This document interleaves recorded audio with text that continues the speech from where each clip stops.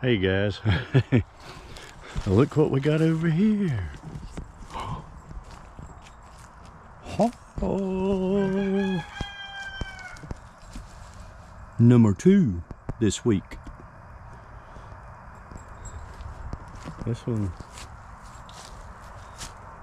has got some character to him. I'm gonna do a skull mount with him. Yes funny shape, ain't it?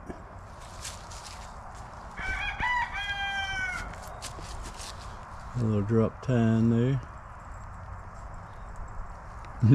it's a little small one, but it'll count.